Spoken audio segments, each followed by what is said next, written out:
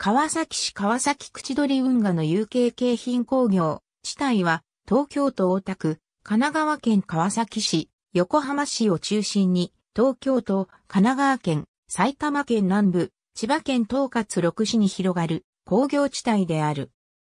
かつては名前の通り、東京から横浜までの東京湾西岸、京浜運河に広がる埋め立て工業地帯であったが、次第に範囲が東海道沿いの藤沢市、茅ヶ崎市、平塚市や内陸の相模原市、立川市、八王子市、埼玉市、川口市、狭山市、川越市、松戸市、柏市にまで拡大していった。三大工業地帯の一つで、太平洋ベルトの中核であり、日本有数の工業地帯である。また、東京湾沿岸に千葉県湾岸部へ伸びて、京葉工業地域を形成。埼玉県北部から東北道、関越道沿いに北関東工業地域を形成している。京浜工業地帯中京工業地帯、阪神工業地帯、北九州工業地帯と比較した場合、事業所数、従業員数、付加価値額で見た規模は1位であった。しかし、1999年、製造品出荷額の規模は中京工業地帯に次いで2位となった。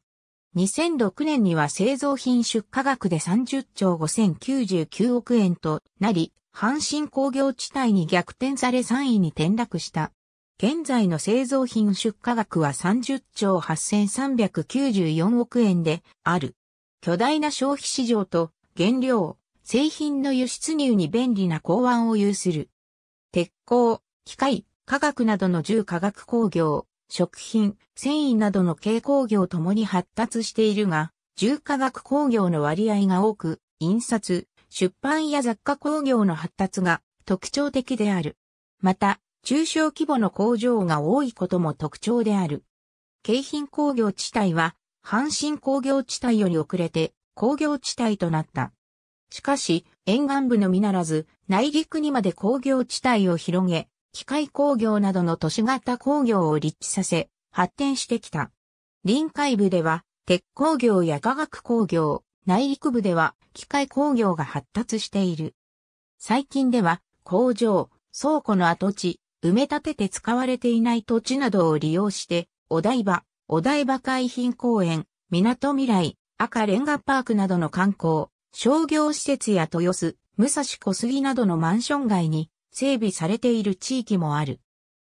また、大田区羽田旭町の大田区創業支援施設、大田区南6号の大田区新産業、創造支援施設、大田区蒲田の大田区産学連携施設、横浜市金沢区にある横浜金沢ハイテクセンター、横浜新技術創造館、双方横浜インキュベーションセンター、川崎新産業創造センター、神奈川サイエンスパーク等のイノベーションによる新産業創出や企業を期待されているインキュベート施設や横須賀リサーチパークや川崎マイコンシティ等のハイテク企業を集積した産業クラスターもある。明治30年代から明治40年代にかけて日本の工業は繊維、製紙、食品などの軽工業から鉄鋼、造船、機械などの重工業が中心にとって変わり始める。重工業は軽工業とは違い、広大な敷地や多量の資源が必要となり、それを受け入れ、送り出すための港も必要になる。東京は明治期に越中島地先、柴田町地先、柴車町など東京臨海部の埋め立てが始まっていった。芝浦などの隅田川川口部や荒川川口部なども次々と埋め立てられていき、運河が掘られていった。横浜、川崎は明治期、横浜の鶴見区に浅野財閥の創始者で、京浜工業地帯の生みの親と言われる浅野総一郎らが鶴見埋め立て組合を設立し事業を開始した。大正から昭和初期にかけて、今の神奈川区千若町、三浦東町、森谷町、鶴見区生麦、末広町、安全町、川崎市川崎区白石町、浅野町など、横浜、川崎地区に人工島を造成され、同時に運河が掘られたその後も、土地の不足により、神奈川区、井出田町、恵比寿町、宝町、鶴見区大国町、末広町が埋め立てられる。埋め立てを行っている間にも様々な企業が集積し、工業地帯として発展を続けていった。大正期には第一次世界大戦の軍需で発展し、戦勝国である日本は好景気になった。この頃から東京に集中していた工場軍が横浜、川崎にも多く進出し始めてきた。その後関東大震災を契機に東京から工場が横浜、川崎へ移転し、京浜工業地帯は完全に横浜まで広がった。震災前、三港周辺の工場群は独立していた。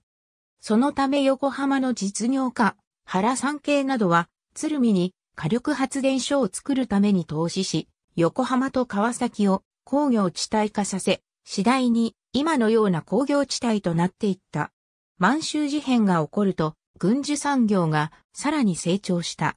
特に造船、自動車産業は政府に支援され、1933年には横浜市神奈川区宝町で日産自動車が創立した。現在港未来となっているところは、かつて三菱重工業横浜造船所があった。太平洋戦争が起こると、東工業地帯は東京大空襲、川崎大空襲、横浜大空襲によって壊滅的な打撃を受けた。さらに終戦後、米軍により接収が行われ、工業活動が停滞した。